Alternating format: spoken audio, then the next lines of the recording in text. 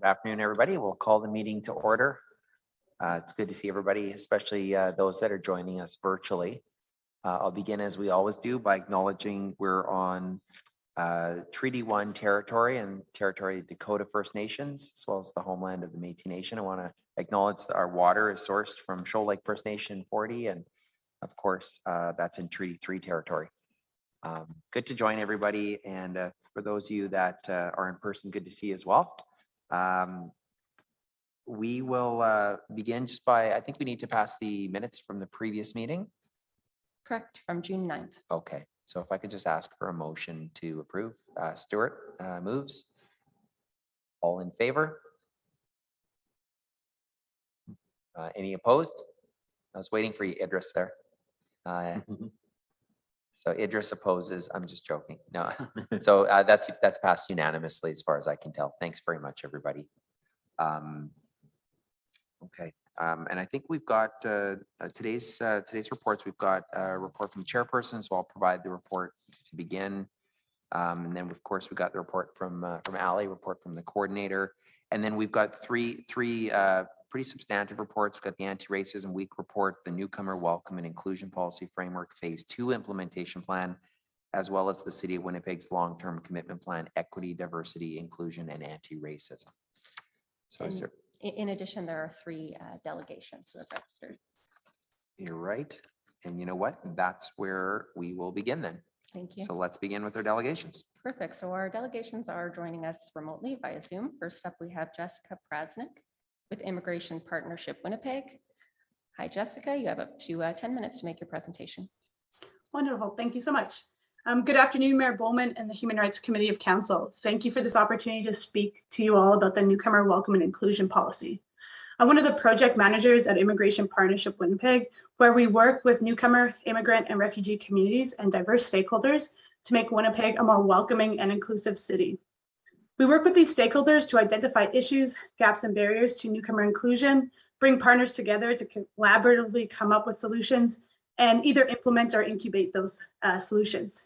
So in my role at IPW, I coordinate our civic engagement and inclusion sector table and have led our COVID anti-racism campaign and our anti-racism in sport campaign.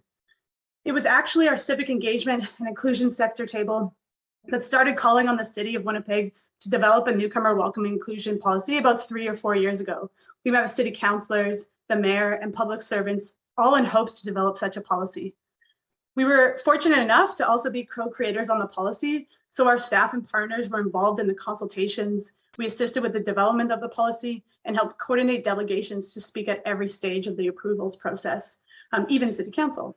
Um, so since the passing of the policy, we have worked closely with the public service on many of the initiatives that were outlined in phase one, especially uh, those related to the anti-racism, um, sorry, especially the anti-racism related initiatives. So our organization leads, and I just want to note, fully financially supports uh, the COVID anti-racism campaign and the uh, anti-racism in sport campaign that the city has partnered on.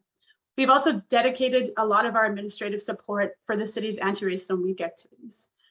Um, so naturally, we are extremely invested in the success of the newcomer welcome and inclusion policy, and I'm very proud of the work that went into the development and phase one of the phase one activities of the policy. However, since the onset, onset of when the newcomer welcome and inclusion policy was being reviewed and approved by city committees and council back in two, late 2019 and early uh, 2020, we've continuously called on the need for the policy to have allocated funding and administrative support, not just to be implemented within existing resources. Without the demonstrated commitment of allocated resources, this policy will not be fully recognized and will only be able to scratch the surface of the barriers and challenges that newcomers face. So without allocated funding, it will not live up to the potential it really has to make Winnipeg more welcoming and inclusive. So this was really made evident in the public services report as 20 activities identified in phase two's framework remain unfunded and will require additional or realigned resources to implement. At the bare minimum, the funding requested by the public service for a permanent full-time staff to oversee the policy and an Indigenous and newcomer engagement staff um, are required to implement phase two of the strategy. Um, however, I just want to note we are concerned and disappointed that even with the additional funding, um, there uh, will still be activities that will not be implemented, such as the newcomer youth employment strategy and the municipal nominee program, among other things. So today I call on you as a Human Rights Committee of Council to really push forward and ensure that funds are allocated to support the newcomer welcome and inclusion policy. And just as a final note, I'd like to acknowledge that the newcomer welcome and inclusion policy continues not to address the need for an access without fear policy that would ensure that all residents of Winnipeg, no matter their immigration status, have access to city services. And the policy also does not address the need for permanent residents to be able to participate in municipal elections, especially as today, shout out to the federal election. Hopefully everybody voted or you get to vote after this meeting. Um, so sorry, these two concerns uh, that are these two concerns we heard during the consultations for the policy, and they continue to be ongoing issues for newcomer, immigrant, and refugee communities. So thank you very much for letting me speak um, to the committee today. Great. Thank you very much, Jessica. Uh, Any questions from anybody on the committee? Okay, well, appreciate all your work and your advocacy here today. Thanks very much. And I have voted already. And uh, Awesome, yeah, encourage everybody to get out and vote if you haven't done so already. Thanks again. awesome. Thank Have you, great- thank you everyone for this time. Next up, also speaking on report four, we have Carolyn Trono of the Winnipeg Newcomer Sports Academy. And Carolyn, you have up to 10 minutes for your presentation. Oh, Just a second. All right. Thank you very much for inviting me. Hello, everyone. This is my first time presenting at something like this, so I'm a little bit, little Take bit nervous. Glad, glad you're, able- glad you're able to join us and, and thanks. This is, uh, if this is the first time, that's awesome. All right, so this is great. Uh, my name's Carolyn Trono, and I'm the founder of the Winnipeg Newcomer Sport Academy. Uh, we're now a legal not-for-profit since 2019. Um, so, but my background is in sport, particularly I've worked at the national level um, uh, for about 30 years, so I'm old, but lots of experience in the sport world, but primarily at the provincial, national, international level. I currently am the Director of Quality Sport Development for the Sport for Life Society, and I've worked in other capacities um, at the national level. I've lived in Winnipeg since 1997, and I'm a huge fan of this city. So I absolutely love the city, and I think there's just such potential here. And I can't say enough about how great it is when I'm talking to my colleagues in, in other jurisdictions. But how did I get here? Well, in 2016, I was at a party, a Nowruz party, and this is when the Syrian refugees were all coming in. And um, we're talking about sport and physical activity. And I said, What are we doing for the kids? And I had, from that moment on, I had no idea what I was getting into, and I had no idea how hard it was going to be. Um, but it's super rewarding and super important. Um, but it changed my worldview. It changed my view, my narrow little world of growing up in tuxedo, my elite sport uh, view of how accessible sport is. My world widened um, a lot about where the access and difficulties are and barriers to participate in local sport, in particular for newcomers. Um, and we, I think we all know why sport, physical activity, recreation, and play is important. Um, we talk about, we think about the physical benefits, yes, the mental benefits, yes, the overall well being, yes, but sometimes we forget about the sense of belonging, the sense of community, um, the importance of um, being part of the society. Um, and community sport, physical activity gives those opportunities, but it's not that accessible. And I would say the newcomer groups that I work with, and it's not nearly as extensive as Jessica's experiences and many others, but what I saw during COVID was this group was disproportionately impacted by um, lack of access to outdoor, indoor recreation spaces. Um, and with that, you know, I think what's important here, we think of this in terms of um, the impact and what we're doing for newcomers. But I think when we talk about anti racism, we're also doing a disservice to the citizens of Winnipeg by not including, not creating these great spaces for newcomers, refugees, people to participate in the full society. And I remember when we first started, it's probably 2017, 2018, when I took Ahmed to join a soccer program. And I went to his last game and I went up to the coaches who provided him rides and transportation and support to the family. And I said, I just really want to thank you for encouraging Ahmed and supporting him in his um, soccer soccer development. And the, this was Coach Fred from Phoenix Soccer came to up to me afterwards and he said, you know, Carolyn, we need to thank you, and is, you know, thank you, thank um, his parents, and thank Ahmed for sharing his stories about being Muslim in Winnipeg, about Ramadan, about the war, about how his family came to Winnipeg. In with those stories, he made us better Winnipeggers. He made us better Canadians.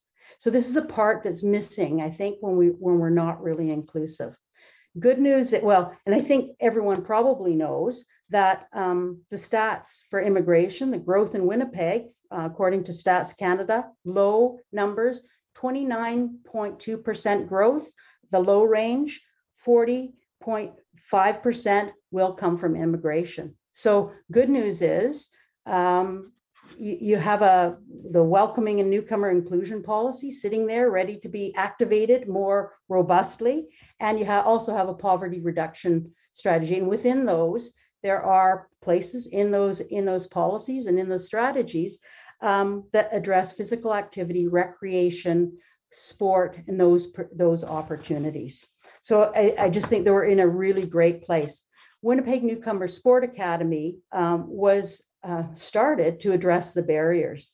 And I think that some of the things that we have that in my work work, we talk about awareness and first involvement, those early stages of what kind of programs are, are available and when people come, do they feel welcome and included and will they come back? Um, some of the things that we have in place that are okay for Canadian born English speaking people, the forms, the English, the transportation, maybe don't address some of the things that are really needed to be addressed in the um, in the strategies and the outcomes within the with the program. And how does someone navigate the system? Like i speak english i can use a computer i can do all of these things but if someone is new how do they do that? And i think something like that needs to be addressed in this inclusion policy. There's some great things that are happening in the city. Um, for example, um, there's been a subsidy program, that third party referral within the, the swimming program. That's going to be a huge help. Transportation with the SPIN program, addressing the feelings of safety within our, with our community. That's being addressed with the anti racism week. Um, the, the Greater Council of the Community Centers in Winnipeg. I think there's significant opportunities with all within all of those, but it seems to me that's really um, siloed. And there may be some opportunities to address these in 3.1, 3.2, 3.3 within that uh, within the inclusion policy. And I would s- suggest that perhaps so we have a long time before 2036, but perhaps some of the systems we have in place now need to be dismantled, need to be reinvigorated. And I don't think that can easily be done without dedicated resources. Um, because what's worked in the past with this growing immigration group, things need to be done a little bit differently.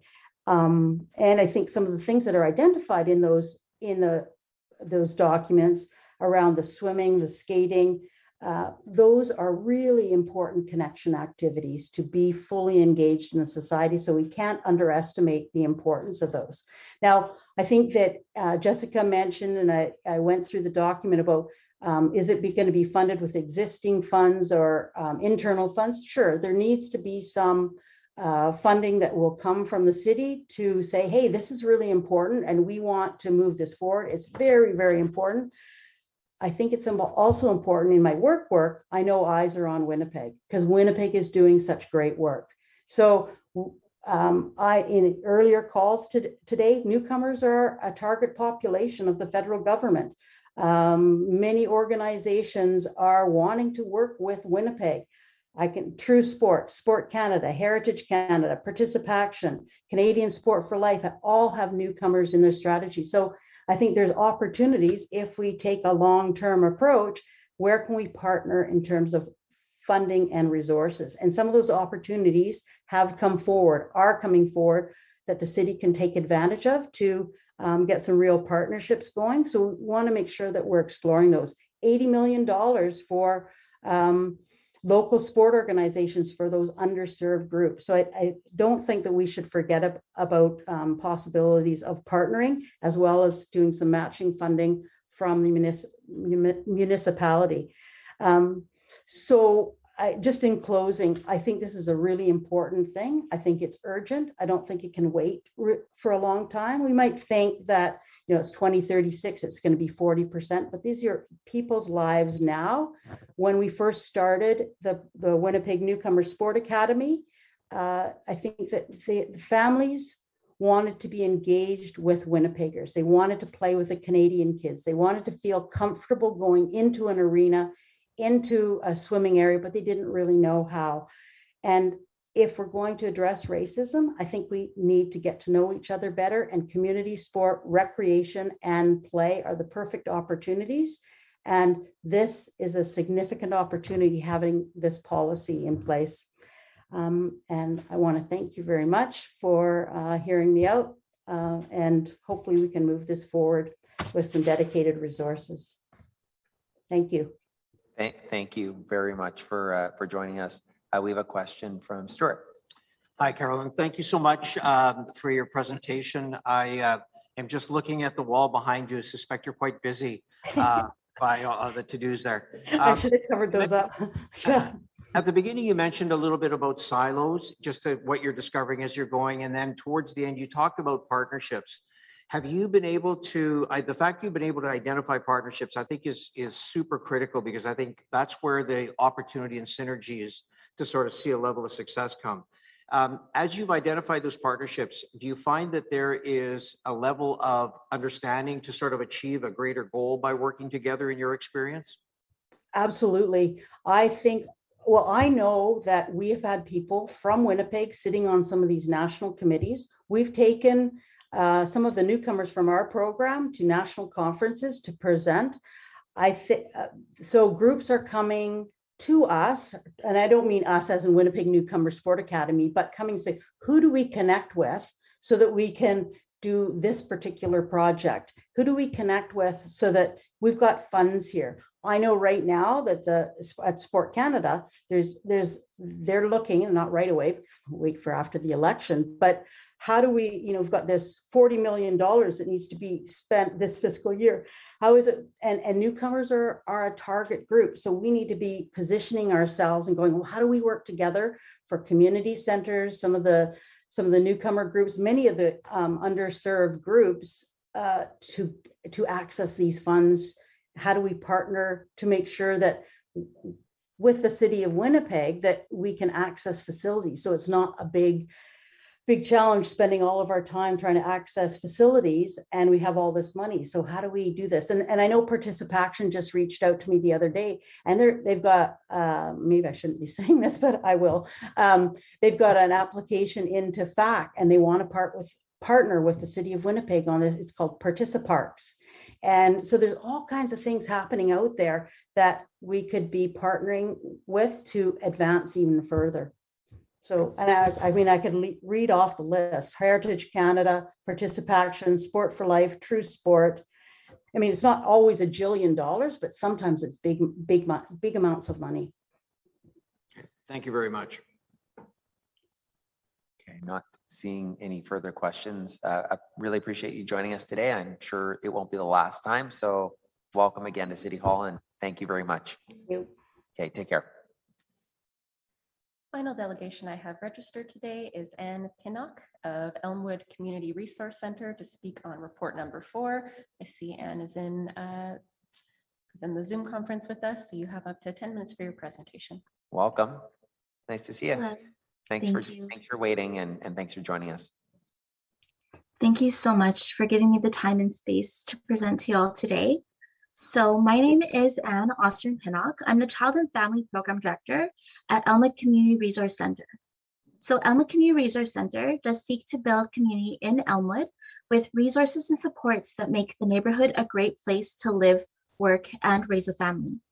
Our multifaceted approach to community building includes programming in youth and adult literacy, youth and adult employment, newcomer settlement programs, counseling programs, parenting programs, and youth outreach services, as well as general community programming addressing issues ranging from stress management and grief to resiliency.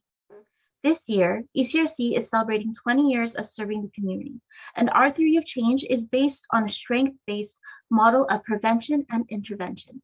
We believe that by empowering families to create healthy changes in their lives, we will create a stronger, healthier community. So with these goals in mind, we develop programs and work closely in continued consultation with community members and local and regional partners to meet the changing needs of people in our community. In my role as the Child and Family Program Director, I've had the pleasure of developing and evaluating programs, as well as working directly within programming that serves family from our newcomer community. We serve everyone from those who've been here for years and consider our team part of the family, to those that have been here just a few weeks and show immense resilience and strength as they reach out to our center to help them and support them. We understand where they're coming from. We meet them where they are and work together to develop solutions that empower and engage them in the community. So ECRC represents one of only two centers designated in the Winnipeg East area as a settlement zone. In 2020, through the pandemic, we still continue to see over 20, we saw clients over 2,100 times as we remained open and available to serve the community. So as a result of our work, we've also seen and have had the opportunity to partner with the city on various initiatives, including the first phase of implementation of the newcomer welcome and inclusion policy as a partner of the inaugural Anti-Racism Week and the COVID Doesn't Discriminate Nor Should You initiative and campaign. The third party referral system within the city allows ECRC to vouch for our community members currently facing financial challenges and allows them to access city services for free, regardless of their citizenship status, giving individuals access to opportunities for growth and development. We know that money is power, and in our heavily monetized society, money is one of the most visible demonstrations of privilege and deeply highlights the massive differences in society.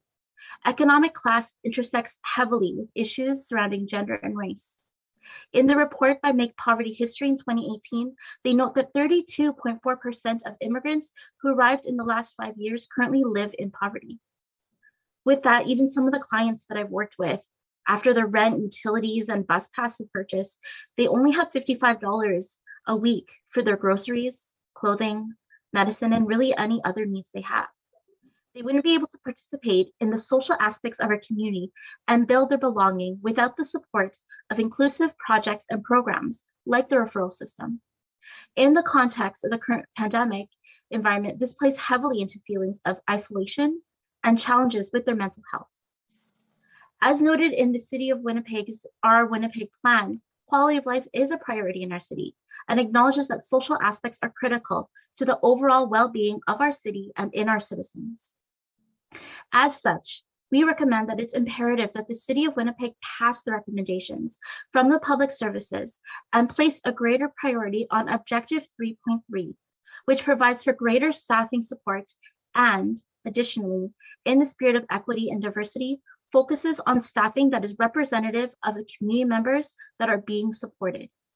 We wanted to commend the City of Winnipeg, His Worship Mayor Brian Bowman, members of council, and the community members that have contributed their time and efforts to ensure that the rights to access to opportunities are available to all citizens.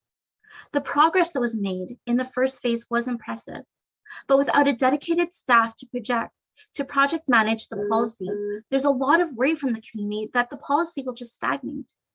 In one of the last Human Rights Committee meetings, uh, Councillor Chambers, and please, Councillor Chambers, feel free to correct me if I'm wrong, uh, you noted that sometimes life is like a race with obstacles. In summation of his analogy, some people don't have hurdles and run the race.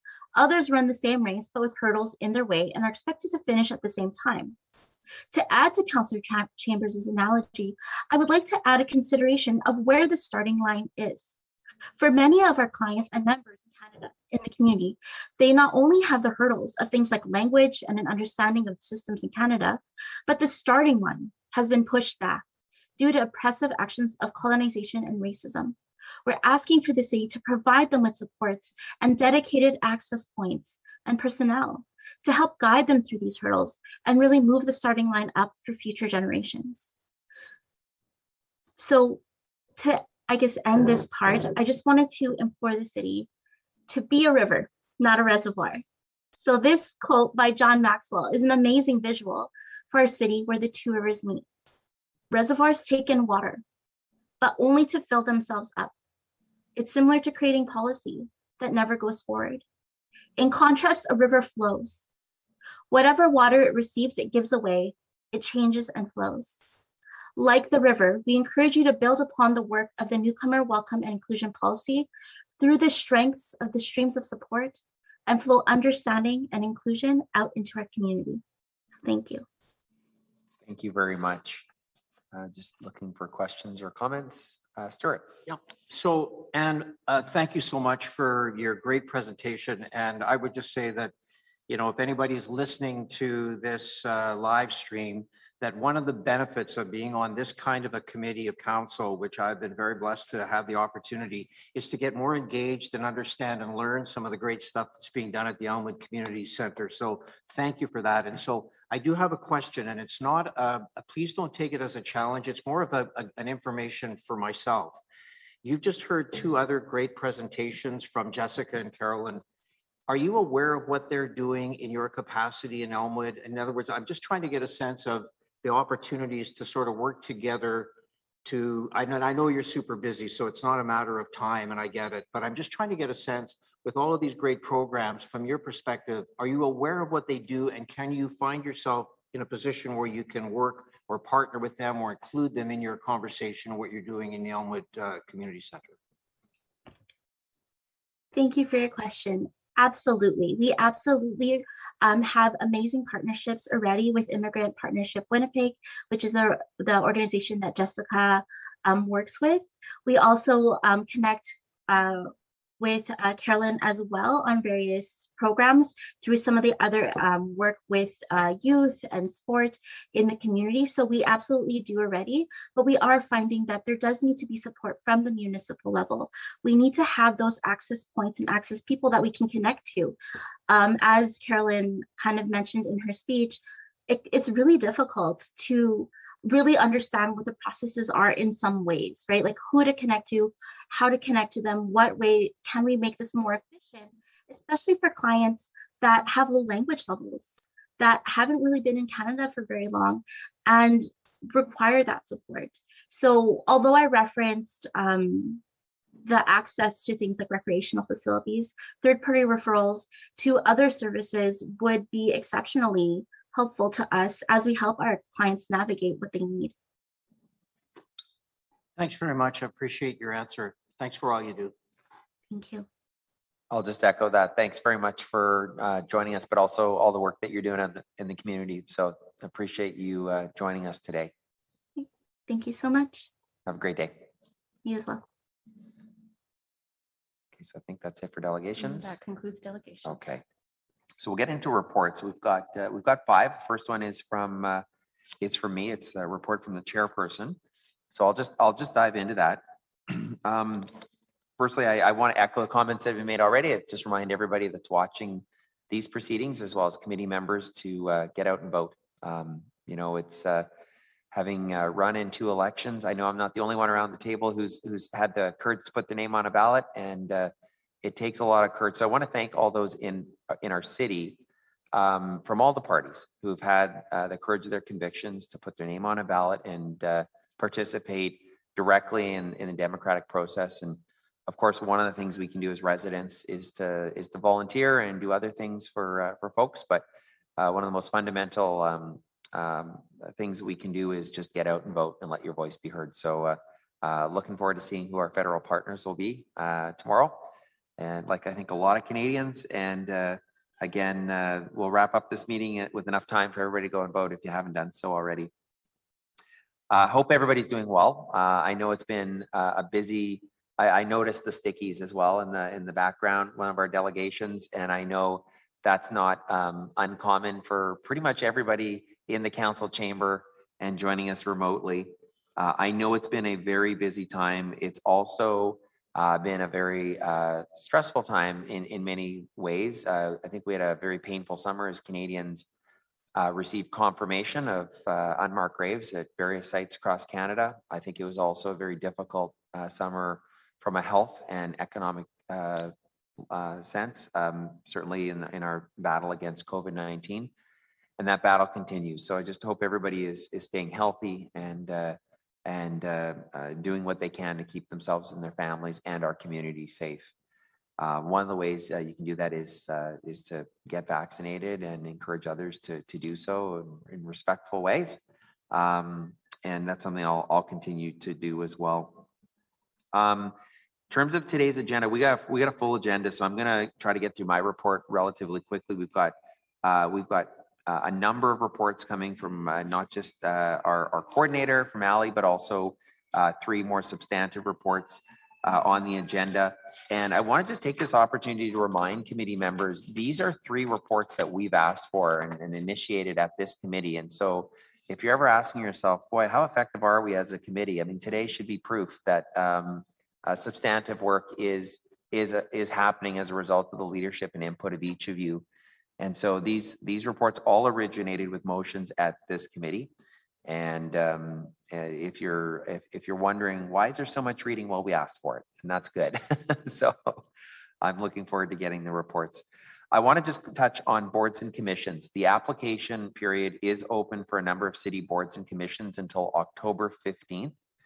Um, I would just encourage anyone uh, here or that you may have contact with, with I would encourage them to uh, consider getting involved, having a look at uh, the, city website for more information. Um, I will note that this is the first year ever in the city's history that permanent residents can apply. Uh, possibly, um, uh, previous, uh, as you know, previous participation was was limited to Canadian citizens that are living in Winnipeg, and so that's a change that was made here at this committee and and ultimately supported uh, by council. And I want to thank everyone for that. And, and it would be great uh, if there were uh, permanent residents applying. Uh, so if you know any permanent residents, let them know. Uh, we, we want them to apply and, and, and hopefully be considered for uh, boards and commissions. Also want to just advise today, uh, the city launched a number of equity and diversity initiatives for our employees that provide them with resources regarding education and training. So I'm just going to touch a little bit. There's a there's a video that's featuring uh, employees sharing why they feel self-declaration is uh, important. Employees also received an employee self-declaration questionnaire and workplace cultural assessment today. Uh, both are, uh, the- these are uh, completely voluntary um, and are part of our effort to give employees the chance to share their perspectives and experiences so we can better understand the challenges that may be faced in our workplace. Um, Their participation is going to help us shape uh, future programs and uh, strategies in support of equity, diversity, and inclusion. It's been a very busy time at City Hall with our uh, our work uh, in reconciliation. And so I, I'm I'm not going to cover everything in this report today, but I want to touch on just a few highlights that you may have seen in the news and and just through dialogue with uh, some of us here at City Hall. Um, the reason I, I mention these things is I, I do fundamentally see our, our, our reconciliation work increasingly through a lens of human rights. And so fundamentally, we're talking about protecting and promoting human rights for everybody in our community. And uh, it's, it's deeply connected to our journey of reconciliation. Um, one of the things that is very visible, uh, Stuart was commenting uh, today before we began the, the formal meeting, is the three new flags here at City Hall. If you haven't seen them, I'd encourage you to, to check them out. Um, we have, uh, this was, this was an event that we had last week um, where we had the honor of joining chiefs and elders, knowledge keepers uh, from uh, Treaty One, uh, First Nations, as well as Dakota First Nations and the Métis Nation in really what I would describe as a historic moment where we uh, we uh, raised three new flags here at City Hall for the first time ever, and they, these are permanent flags that will uh, that will fly uh, at equal height and proximity to uh, the flags of the city of Winnipeg, the province of Manitoba, and and the, the our national flag, the maple leaf. And so, uh, a lot of that dialogue over many years And uh, I was really proud and grateful of the support uh, council has demonstrated for this initiative. A number of councillors spoken out in support of this. And it's, it's something that was, um, was quite a, actually quite an emotional moment for many of us. I was, I was quite, I was, I was holding it back a few times during the ceremony, just the weight of what we were doing. Um, uh, what I was reflecting on at the time is what would the first mayor of Winnipeg have thought of raising the Métis Nation flag, the Treaty One First Nations, and the Dakota First Nations flag at City Hall? I, I, I have to think our first mayor would be rolling in his grave. Um, and I normally don't say that with glee, but I'm okay with that in this case. Uh, it was just, it was a really cool moment to reflect on that. And it was quite a beautiful ceremony. And uh, it's one that will continue to help shape um, uh, some of our practices here at City Hall. It will be, these are flags that members of council, future councils, future mayors will see these flags as they enter City Hall every day and as they exit, as a reminder to the, the, the land that we all inhabit. Um, and it's already starting to impact, um, you know, I, I, today I, I acknowledged in the treaty acknowledgement, uh, Dakota First Nations. That's, that's new for me. And so we will continue to review and evolve our acknowledgements, but also uh, some of our ongoing work in the, in the areas of reconciliation uh, to better reflect the, uh, uh, you know, our, our expectations of, of that work in, in the reconciliation space. The flags were really uh, noteworthy. Also, we held the first event in over a year at City Hall, and this was outside in the courtyard, and it was the Indigenous Accord signing ceremony where we welcomed 39 new partners to Winnipeg's Indigenous Accord.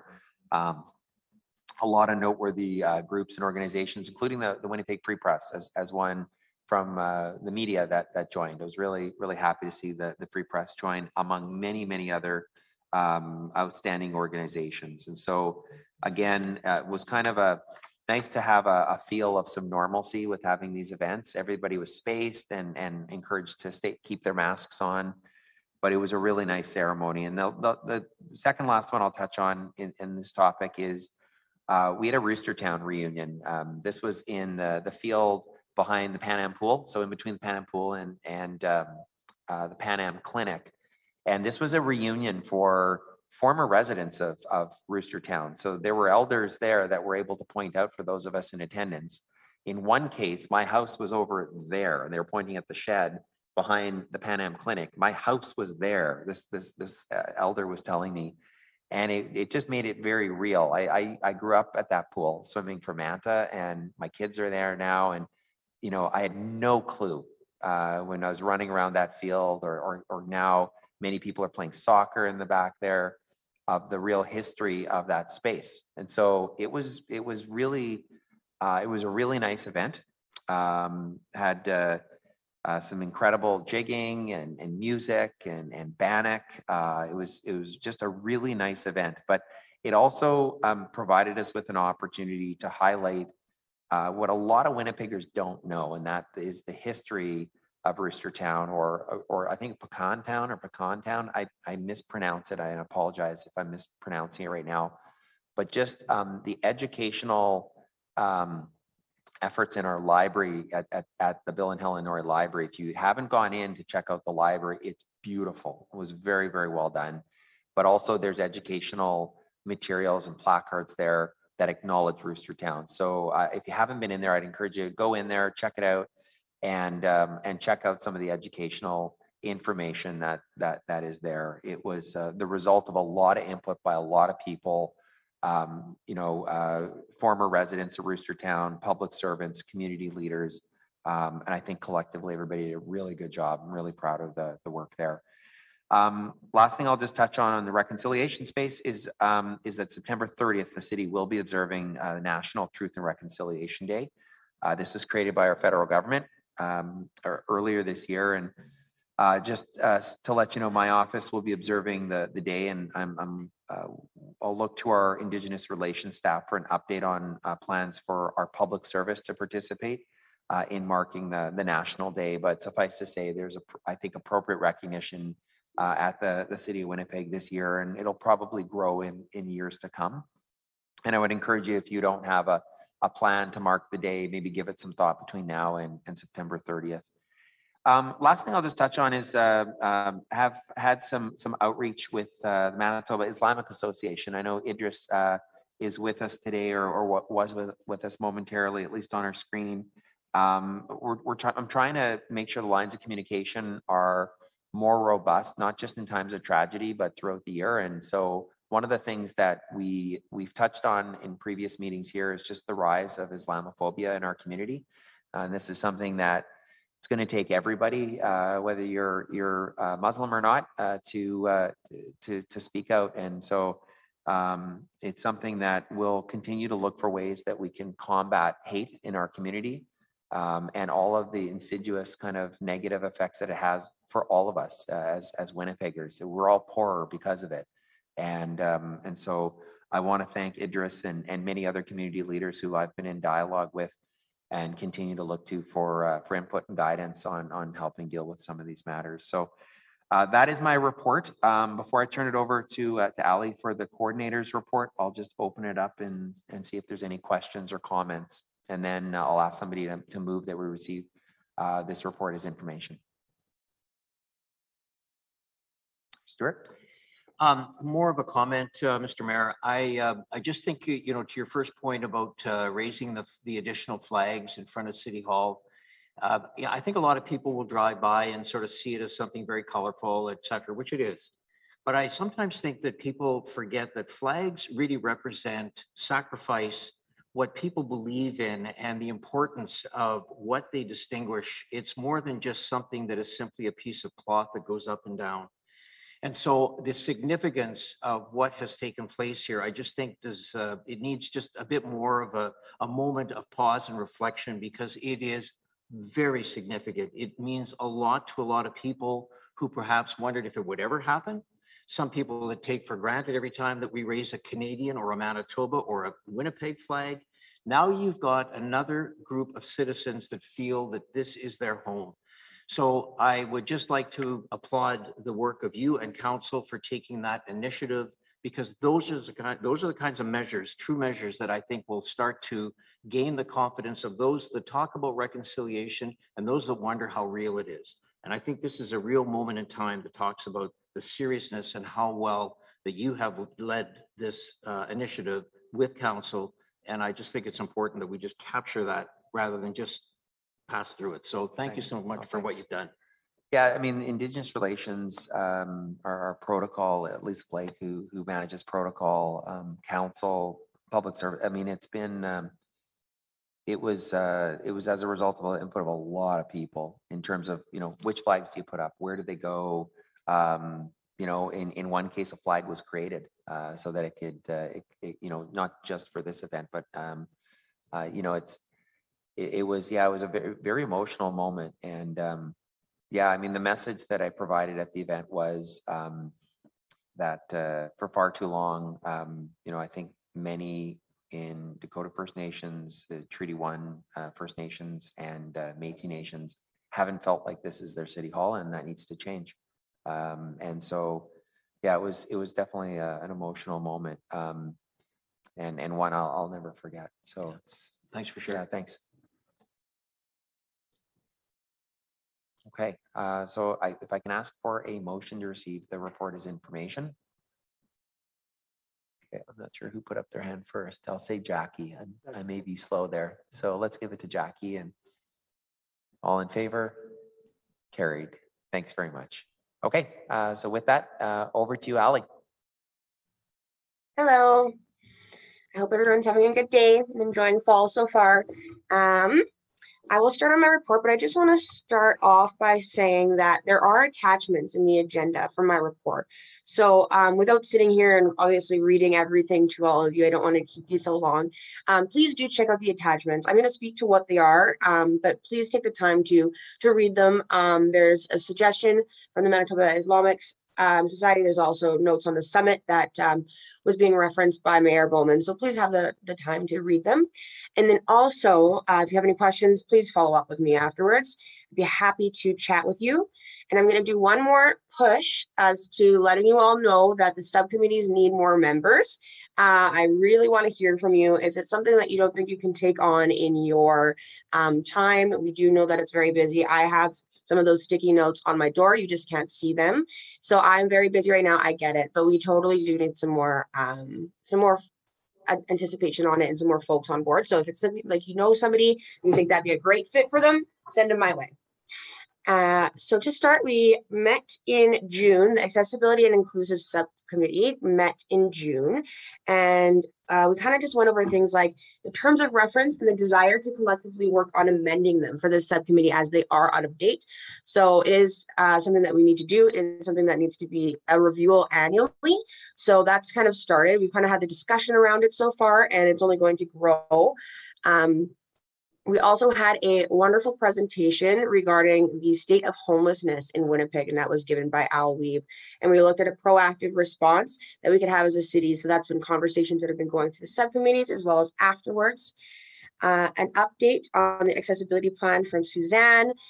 We are looking at yeah, we're having the terms of review, our terms of reference. And so if this is something that's interested you, I know that a lot of folks are really interested on particular different amendments. And so if it's something that's kind of up your alley, then you should definitely talk to me.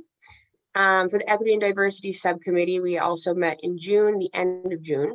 Um, there wasn't too many things happening over the summer to meet.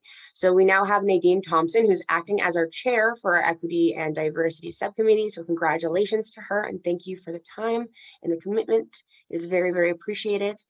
Um, we're also going to be undergoing a review of the terms of reference, which will be done sometime in October when we meet next.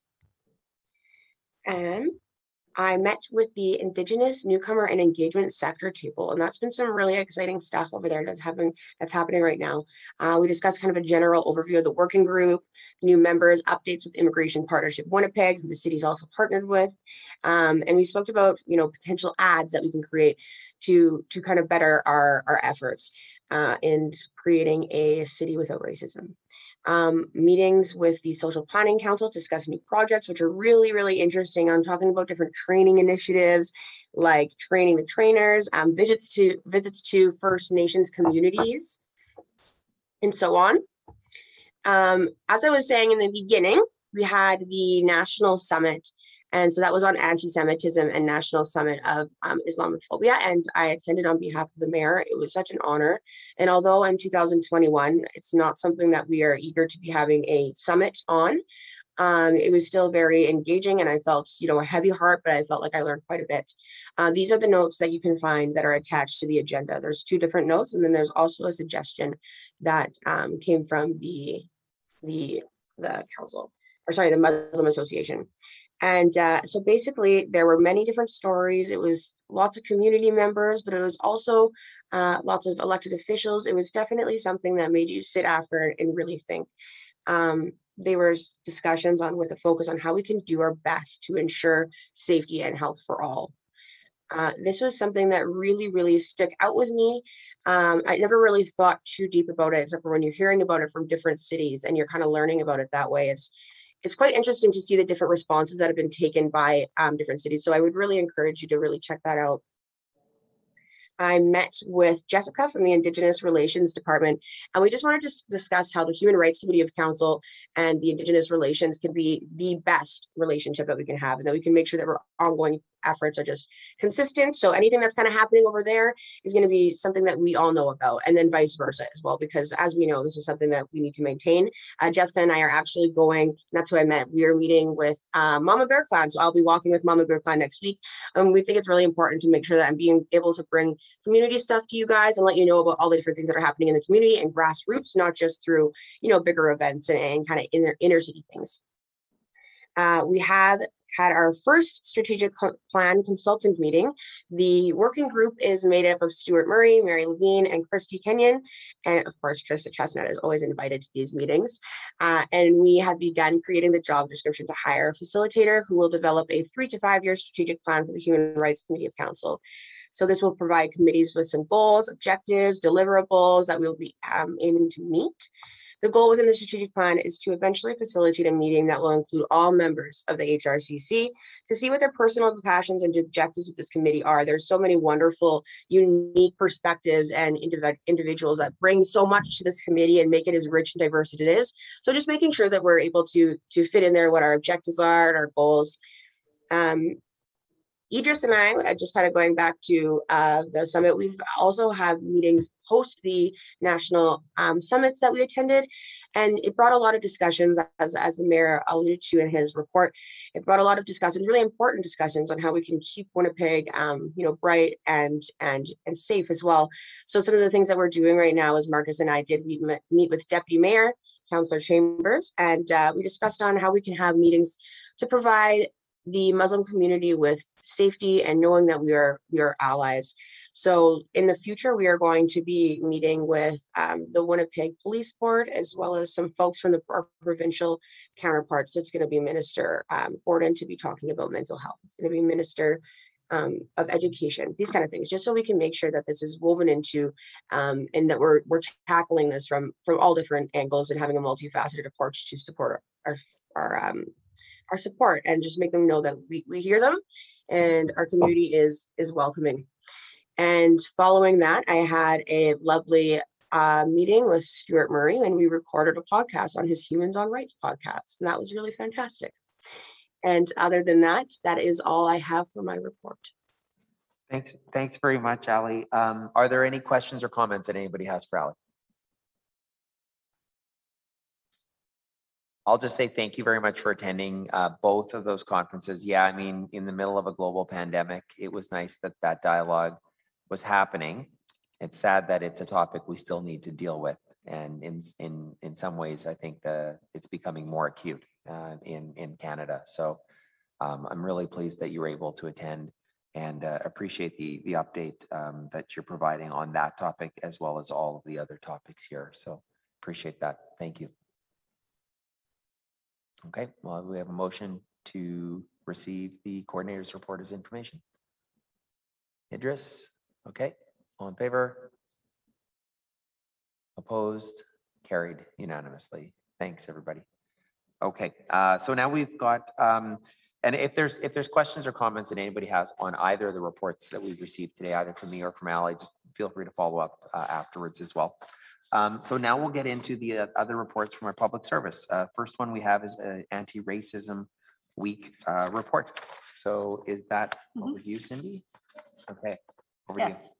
Yeah, for those that you don't know me, my name is Cindy Fernandez, the Director of Community Services, and with me is Noelle DePape from our Community Development Division. So we are very pleased to provide uh, an update uh, today on our Anti-Racism Week. The, uh, the full report, of course, is included in the agenda. So please have a look at that if you haven't. Um, We're going to run through some of the highlights. Um, so as you know, and the next, one of the reports that we're going to be going to next after this is going to be the newcomer welcome and inclusion policy. And one of the goals of the newcomer welcome and inclusion policy was to create a city without racism.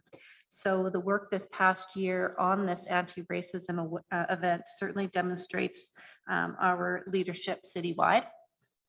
So between uh, March 21st and March 27th, the city of Winnipeg hosted its inaugural Anti-Racism Week.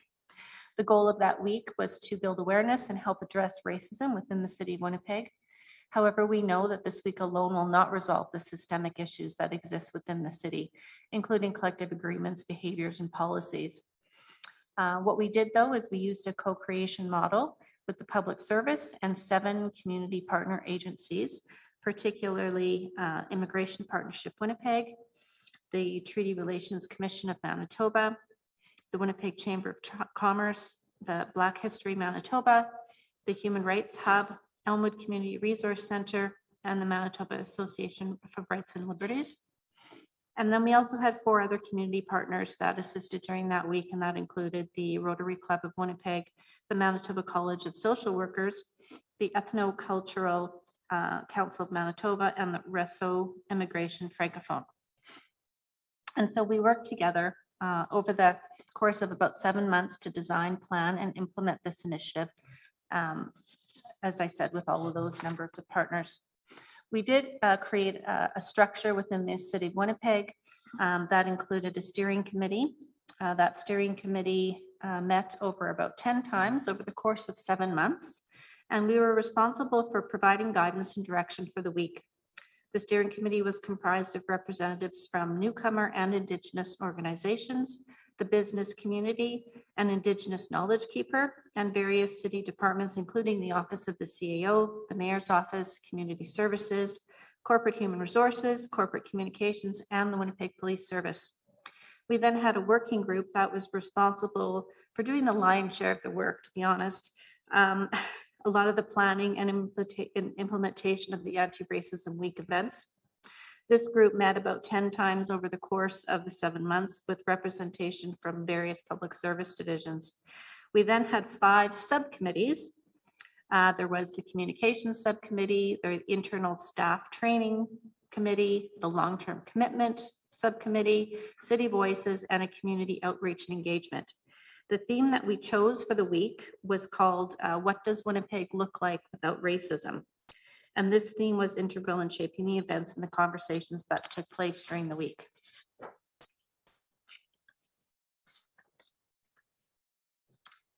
During the, uh, the, the week, um, the subcommittees organized about 20 unique events and training sessions, including 12 internal staff training and eight public-facing events.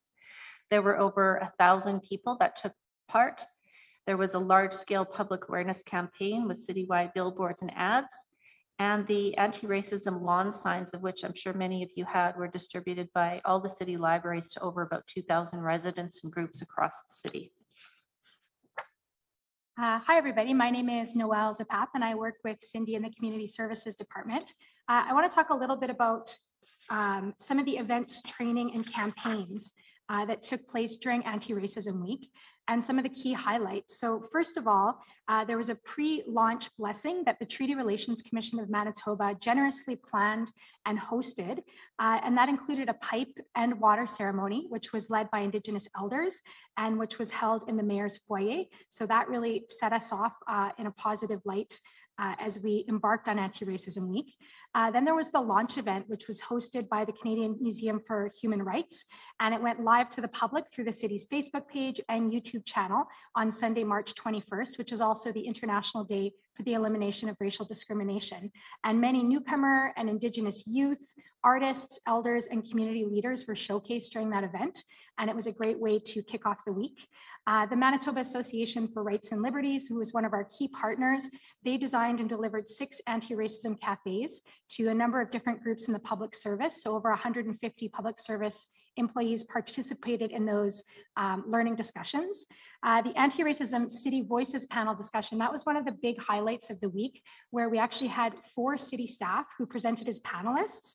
Um, so a big shout out, oh, my slide went to the next.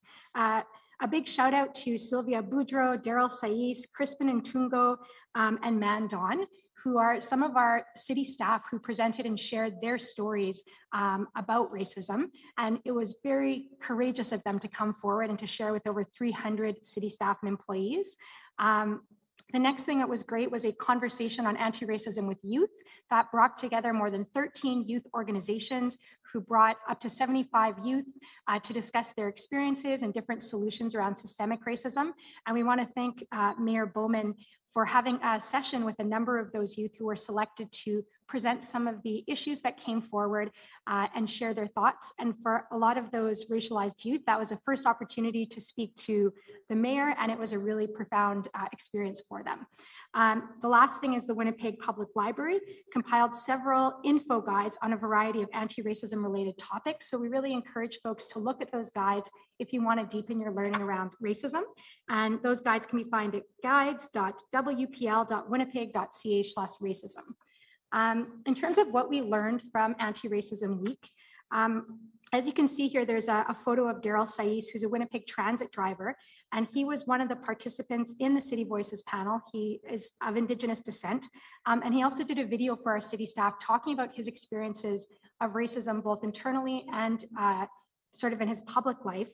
And so one of the key learnings that we took from Anti-Racism Week was the importance of allyship um, and really looking at where the city can step up as an ally. So some participants in the different training sessions identified that in the past, they felt that the city and public service did not always follow their words with actions. So there was a real call to action and staff participating in the training sessions really talked about the importance um, of having real outcomes and a commitment to long-term actions. And it's great that today we're going to be hearing more about the EDI strategy because that's really a piece of the puzzle around sort of a long-term commitment um, to addressing systemic racism within the city of Winnipeg. And when we talk about allyship, what we mean is a lifelong process of building relationships based on trust, consistency, and accountability with marginalized individuals in our community. And to be an ally, that's a person that actively promotes and aspires to advance the culture of inclusion through intentional, positive, and conscious efforts to benefit people in our community.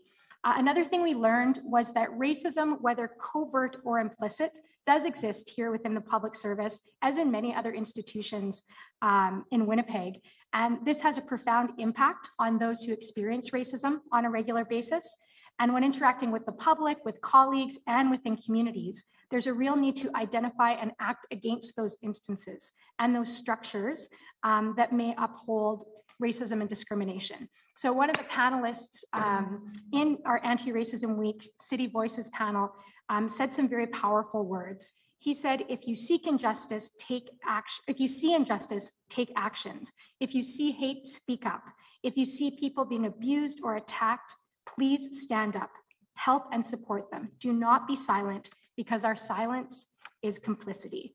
So there is real compelling desire from the participants uh, as well as from those who are being trained to take action. Uh, the other thing that was quite impressive uh, from Anti-Racism Week was the ripple effect.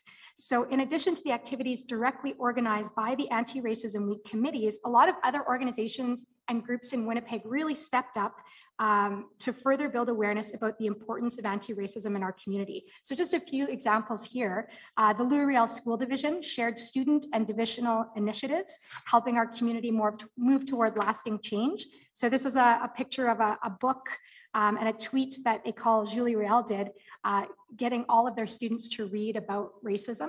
Uh, so that was a, a, great kind of ripple effect. The Jewish community also used Anti-Racism Week as an opportunity to look inward at their practices um, and institutions to make them more inclusive and welcoming. And the University of Manitoba also took a big stance um, when their president actually decided to create a task force on equity, diversity, and inclusion.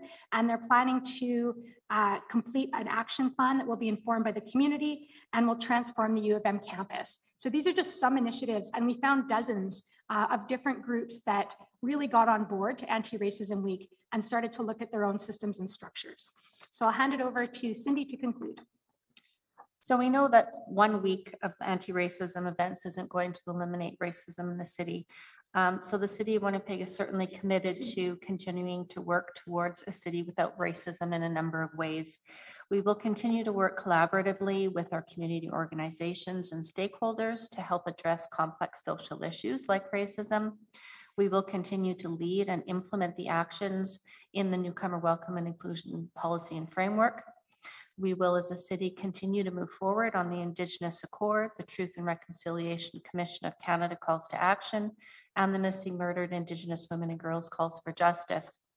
And we will also hopefully get the adoption and implementation of the equity, diversity, inclusion strategy that you're going to be seeing shortly, with the goal of having a representative work workforce through tangible programs, practices, and departmental specific initiatives aimed at increasing the number of people employed at the city that identify as Indigenous persons, racialized person, persons, female persons with disabilities, newcomer, and LGBTQ, LPGTQ plus. Thanks very much. All right, any questions?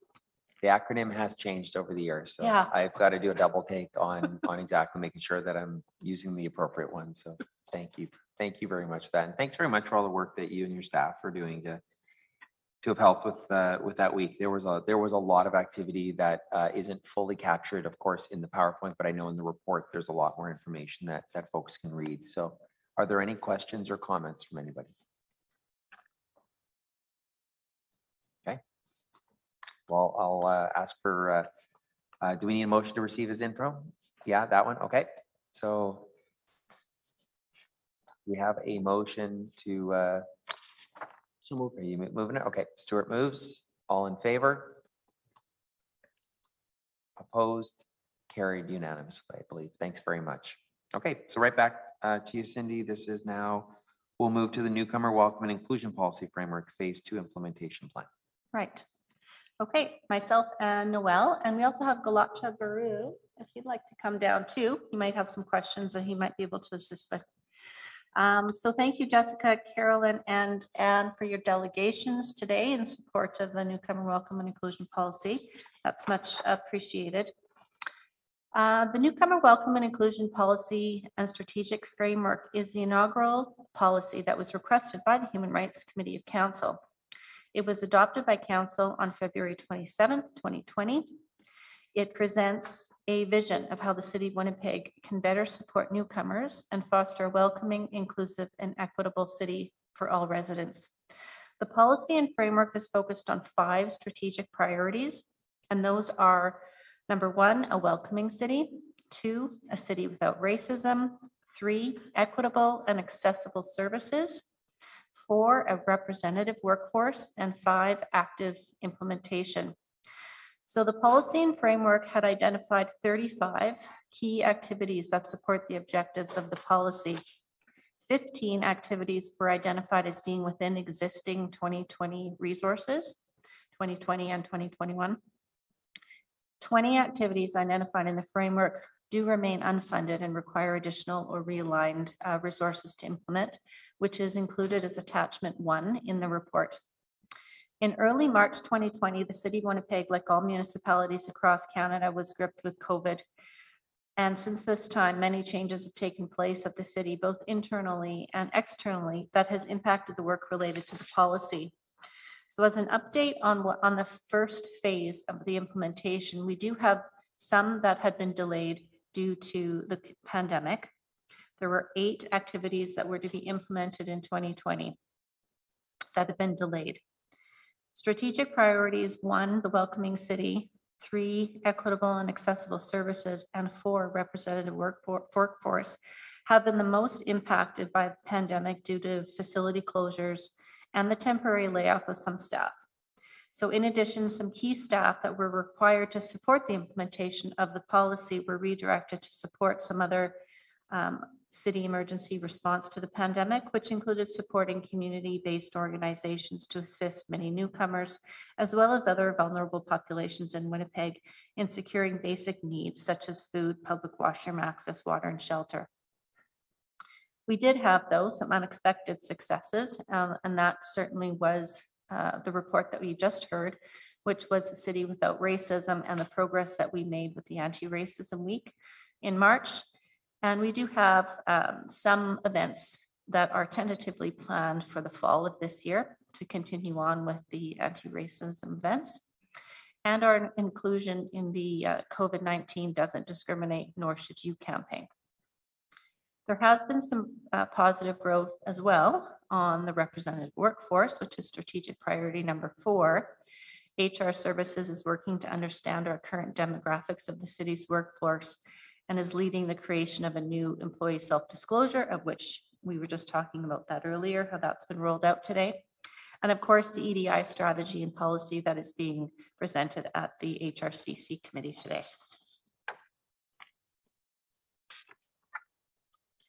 Um, okay, so I want to share a little bit about phase two implementation, but before I do that, I just want to thank the three delegations that came to speak uh, to the report today.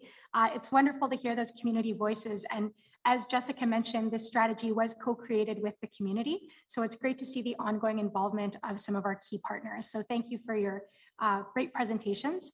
Uh, in terms of phase two implementation, uh, in May 2021, a newcomer welcome and inclusion interdepartmental working group was reestablished to determine the priority actions for phase two implementation.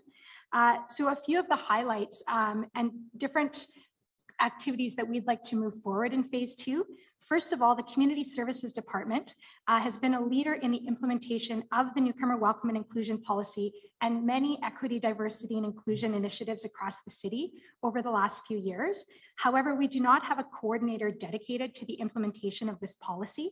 So to further advance the work of the newcomer welcome and inclusion policy, uh, Community Services is seeking to hire one new full-time permanent staff position in the Community Development Division to be responsible for the project coordination and implementation of the newcomer welcome and inclusion policy and framework.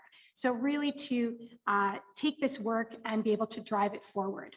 Uh, in addition, Community Services is seeking an additional $20,000 in the 22 uh, 2022 budget to develop a targeted communication campaign for ethnocultural community groups on the topic of water safety and drowning prevention to accomplish objective 1.4, educate newcomers on important life safety issues through targeted information campaigns. Uh, and last summer, one of our um, our most excellent uh, newcomer leaders, Noor Ali, he passed away drowning. And this is something that's very real in the newcomer community and the need for water prevention camp or um, for, for life safety and, and water safety campaigns is really important, uh, targeted at our, our newest neighbors. Uh, the next thing is Additionally, uh, the following city departments have been identified as crucial members of implementation of phase two, because again, this is a citywide strategy.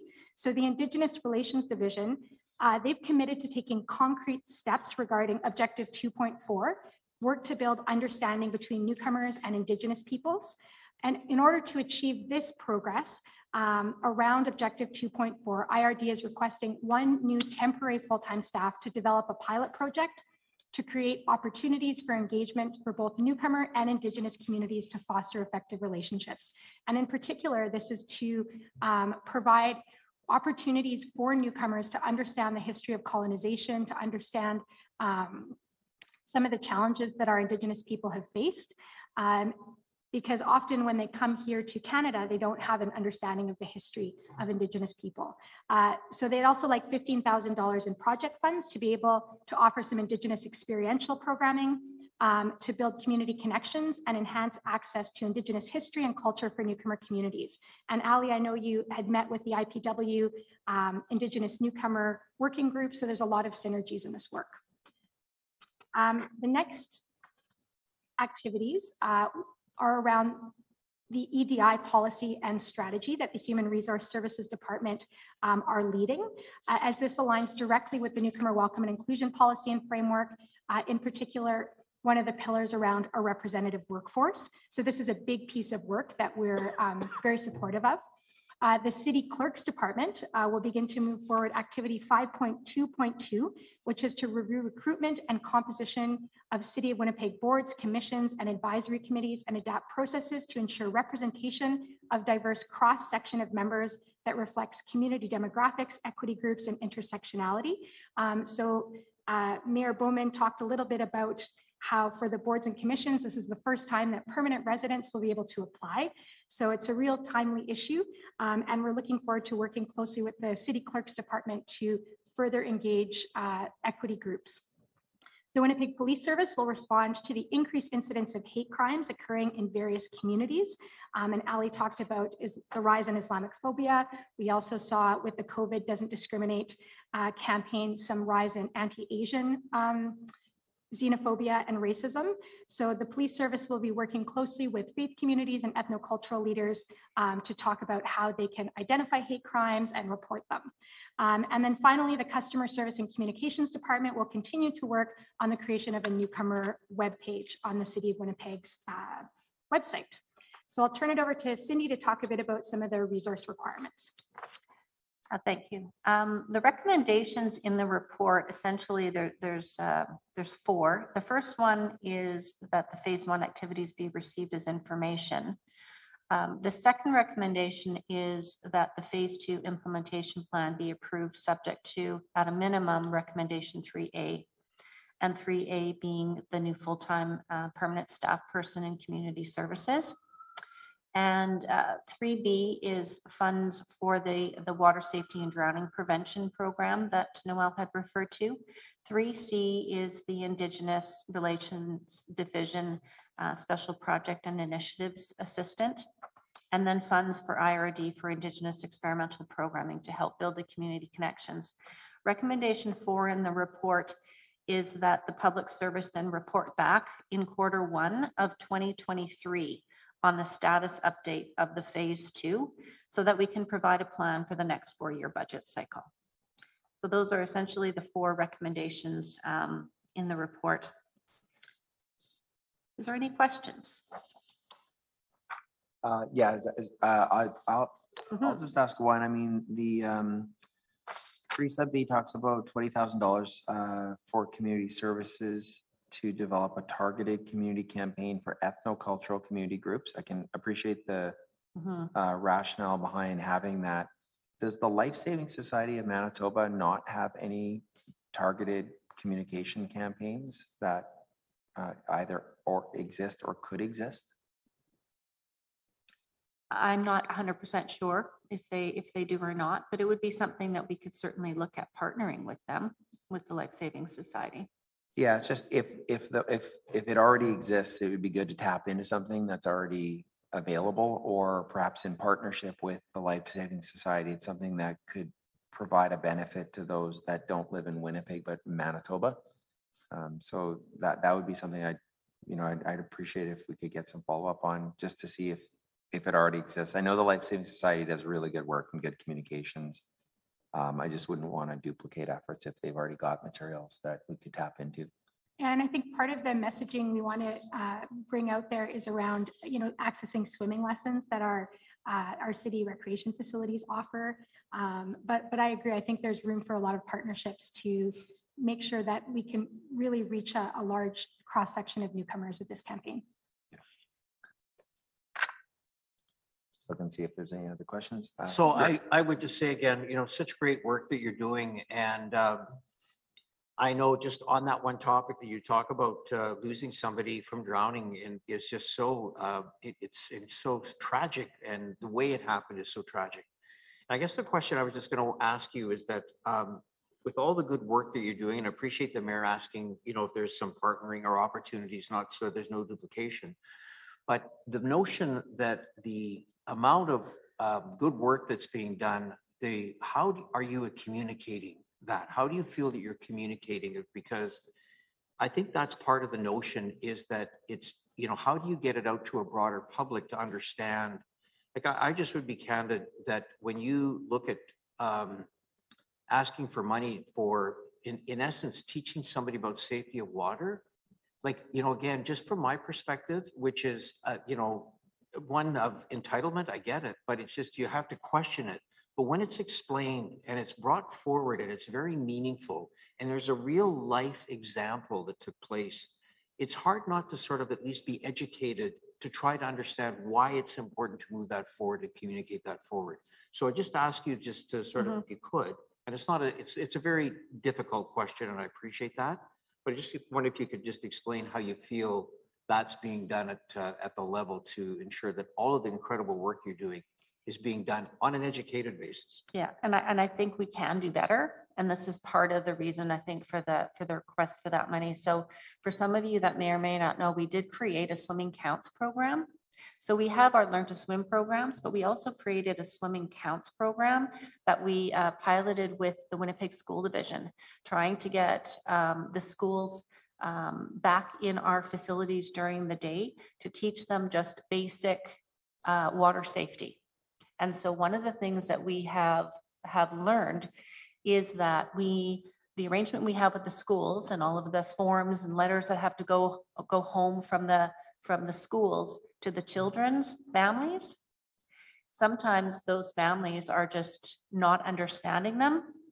They not in the right language for the, for the parents to understand.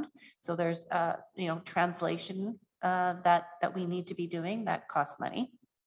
Um, but we also need to be not just educating the, the schools and the children, but we also have to educate that there's the lack, so that they're not fearful of the water from the family's perspective. So we, we absolutely need to be uh, doing better when it comes to uh, the communications and how we're going to do that. And that, that, you know, requires engagement, um, face to face, um, and, and different uh, languages so that we can get out the message better. It's really part of an education process. Yeah. Right. Absolutely. Okay, not hearing further questions. Uh, I think we need a motion to approve the report. So if we have a, a motion, uh, Al, all in favor? Carried. Thanks very much. Thank you. Okay, let's move to our, our last report. Uh, this of course is the city's, uh, long-term commitment plan, equity, diversity and inclusion. And I think we're going to Jordana for this one.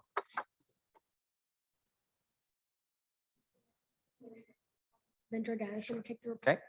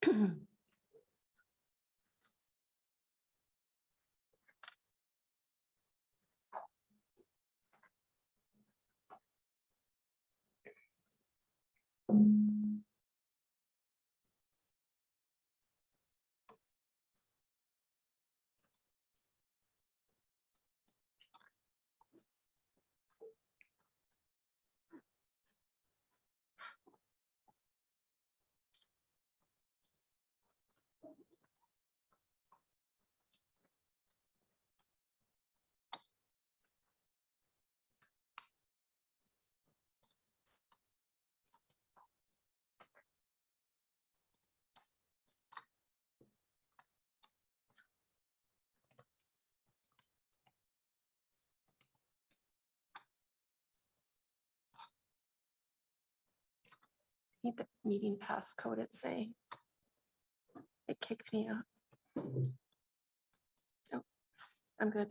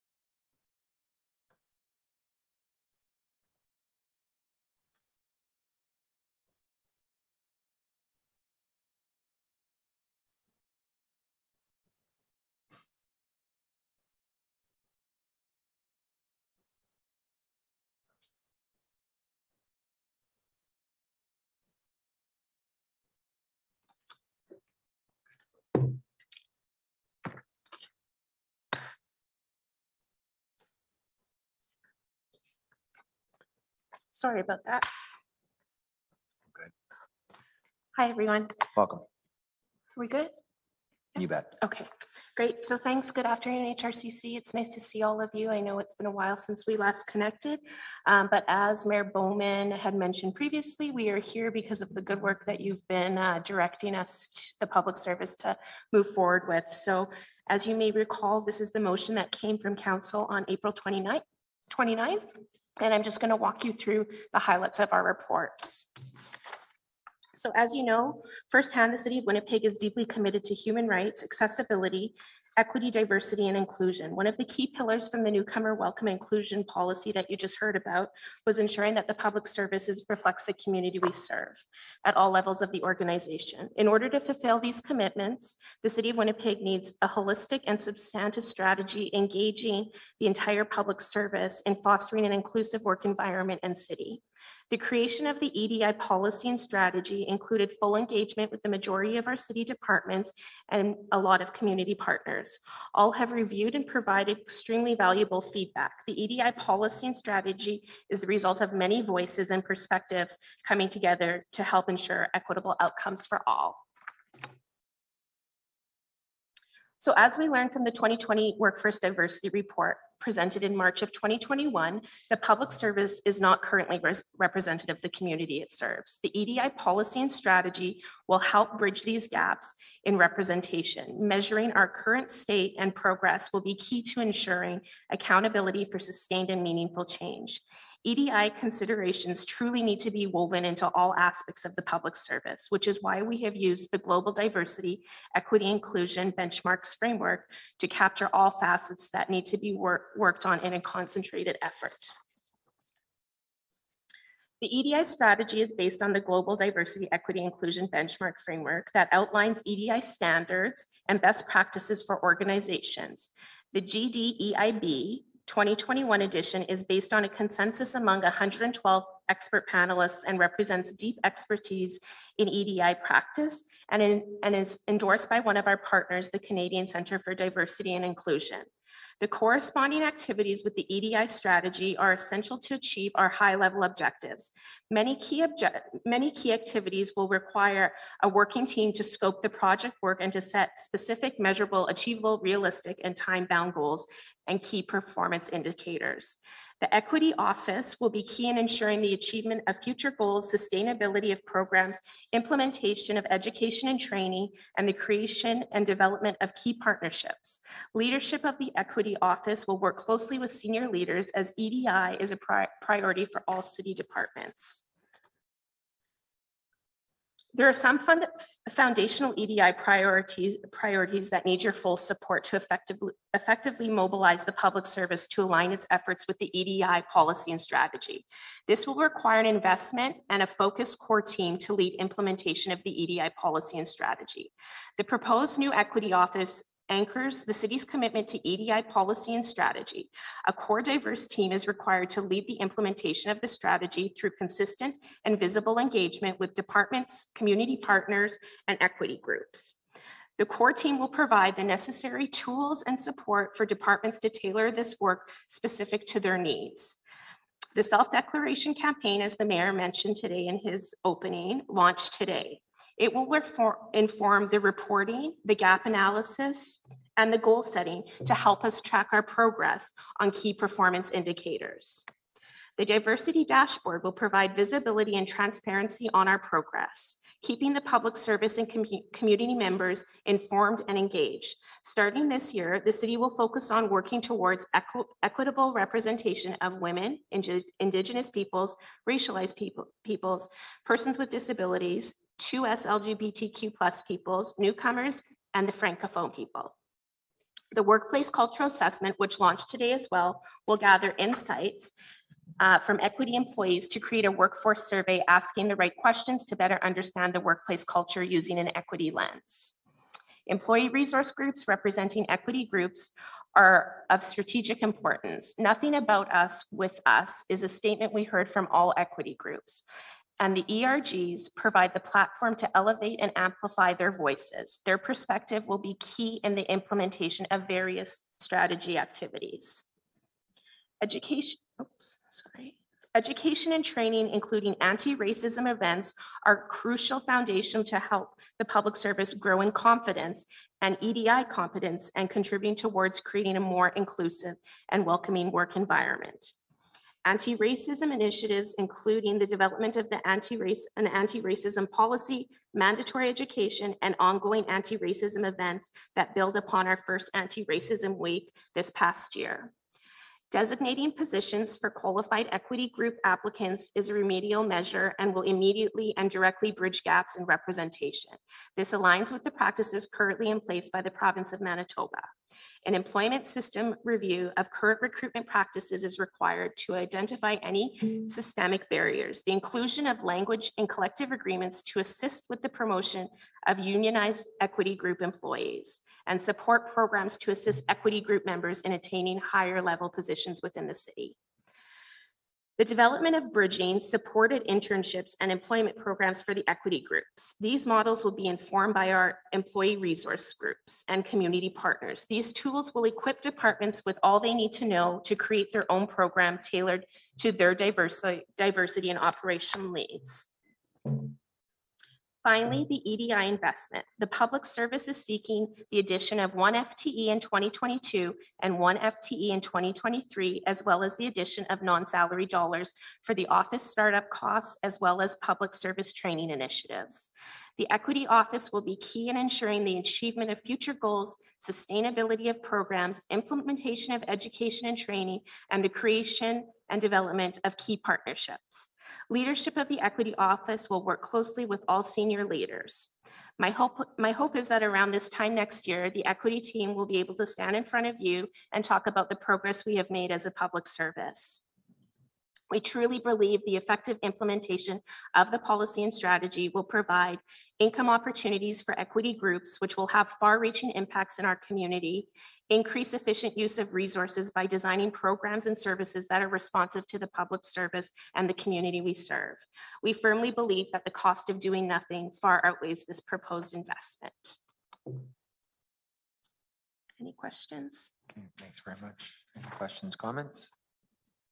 Stuart? Yeah, um, Jordana, thank you so, so very much. And I, I think it's again, one of these um, situations where I really appreciate you giving us like a very high, high, high, high level overview because the amount of work that's going into this, I mean, it is literally the tip of the iceberg versus what's below the surface. And uh, so I just want to thank you and the committee for the incredible work that you've done. I want to just uh, ask you a question that I just want to get a sense from um, as we move this forward. We looked at delaying this report specifically because you wanted to ensure there was more inclusion from those that may not have heard about it, but once they did, they wanted to participate. From your perspective, do you feel that you have been able to achieve that as you've been able to develop this report to bring to this committee? Yeah, thanks for that, Stuart. Very much so. Um, when, when the timelines were first presented to us, we knew that it just wasn't possible to reach everybody we wanted to. So our, our report talks about the external engagement we did and those partners, yourself included. Um, and then internally is really where we wanted to spend a lot of time to get the buy-in from our directors. And that's one thing that we heard from each of our departments is that they're so invested in this that they want to see the change. And so each department had their own facilitated session, either through their HR manager or Diane Burrell, who's on the EDI side, walking them through the strategy and what each of these activities would mean for them. Um, they are going to be responsible for their KPIs, creating programs that that target what their departments need. So I think they really appreciated that extra time and consultation we took. And I think it made a really big difference in terms of having everybody's voices um, reflected in the strategy and the policy that you see in front of you.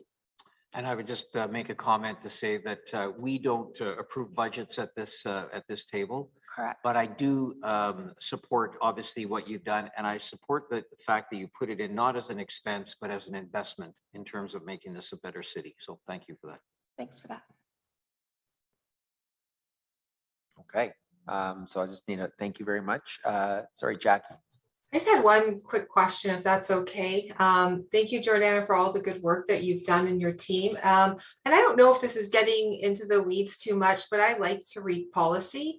And I, I read the EDI policy and I was just curious, um, in particular, when it talks about um, individual employees' responsibility to report and to speak up. I think it's like section eight, for example um, specifically references employees about reporting issues of exclusion, discrimination, etc. Um, I'm wondering if the city has considered, because we know that individuals won't report, especially if it's against someone who has power over them you know, there's a lot of implicit voice theories out there. I won't report against a supervisor because of fear of reprisal, what may happen to me. And we can only imagine with systemically oppressed groups, just the fear of reporting as well. And there's so many, there's so much riding on that. Are there any considerations to have some kind of anonymous reporting mechanism um, at all? I'm not sure if that was thought of.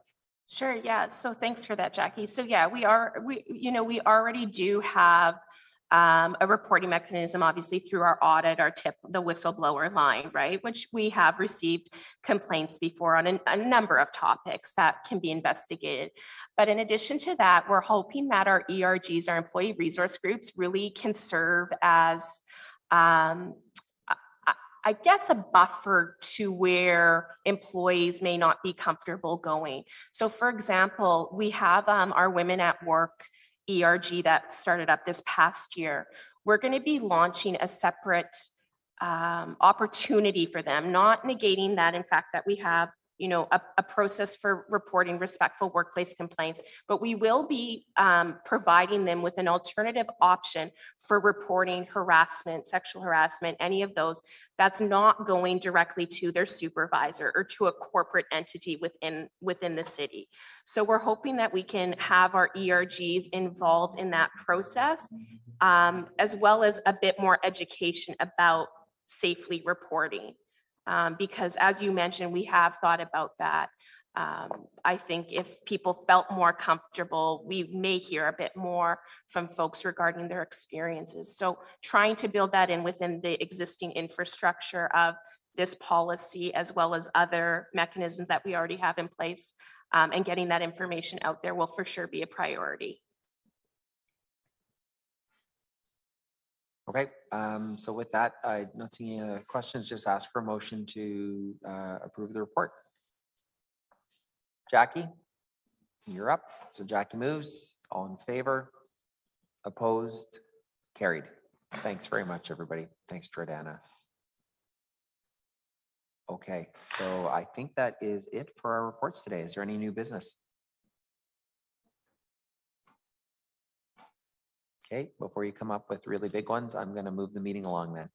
Um, I was just joking. I know you aren't at the Winnipeg Sign Alley, because I was just at the Winnipeg sign and you weren't there. But it's a I great, I just found this. It was so cool.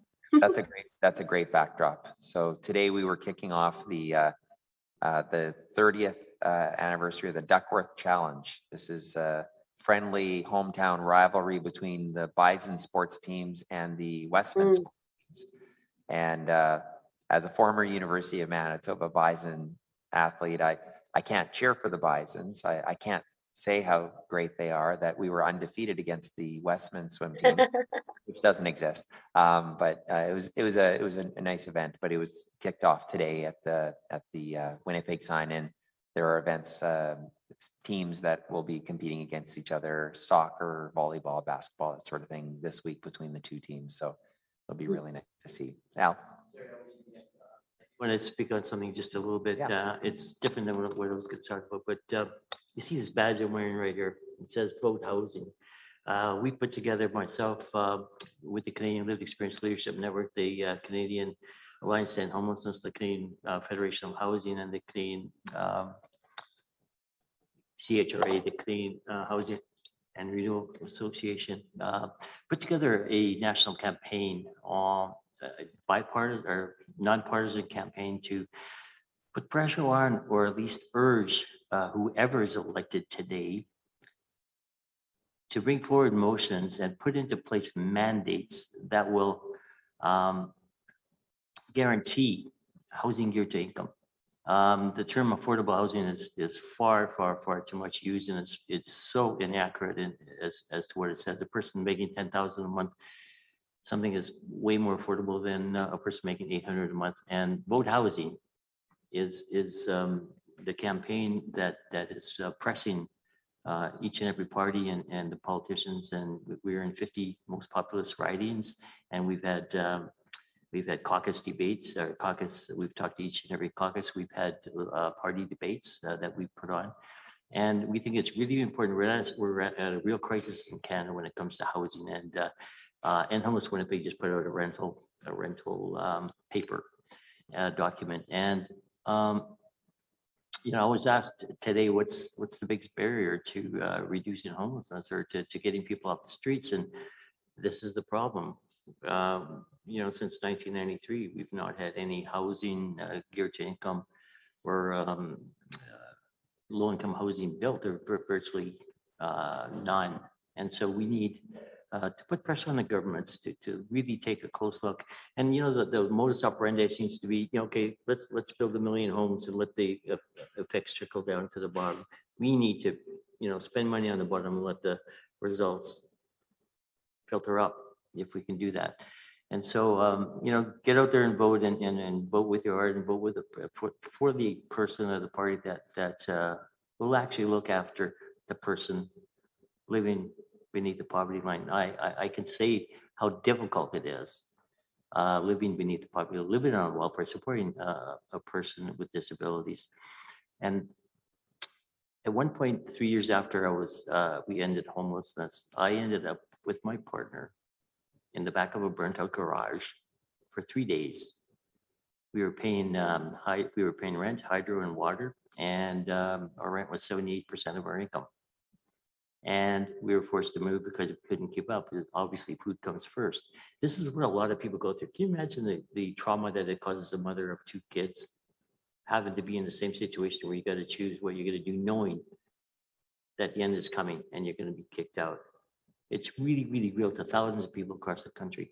And so we need to really address this. And uh, it's the most important issue for me uh, in this election. And I just wanted to, yeah, voice my opinion on that. Well, thanks for sharing that and also for advocacy. Sixteen other mayors and myself signed on to an Yes, open thank you. Thank you so much for that. to, uh, to support that effort. And so that, that's all, um, all online and, uh, there wasn't as much, uh, dialogue in this campaign on, on homelessness and, and housing as I think a lot of us would have liked. Yes. Same with reconciliation matters and a whole host of other issues I'm sure everybody could weigh in on and, and add to it. Um, so, um, you know, uh, I appreciated the fact that the campaign was nonpartisan and was really just trying to advocate on behalf of Canadians, um, an issue that is really important to folks here in the city, of Winnipeg and in other cities. So thank you. And and believe me, the nonpartisan thing got a little rough sometimes. I really wanted to speak up.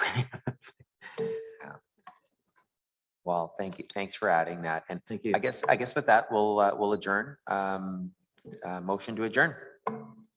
Stuart was really quick on that. Uh, thanks very much, everybody. All in favor? Carried. Have a great evening. Take care, everybody. Thanks. Take care. Bye.